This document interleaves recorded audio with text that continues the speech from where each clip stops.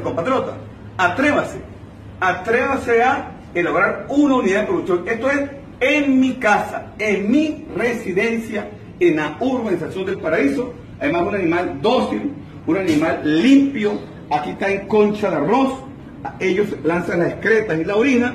No producen malos olores y cada mes y medio se cambia. Y este mismo componente se transforma en sustrato, en abono para las siembras organopónicas o las mesas de cultivo. Así que vamos a creer, compatriotas, es posible cultivar, es posible criar, es posible apostar al futuro, con esfuerzo y con mucho cariño.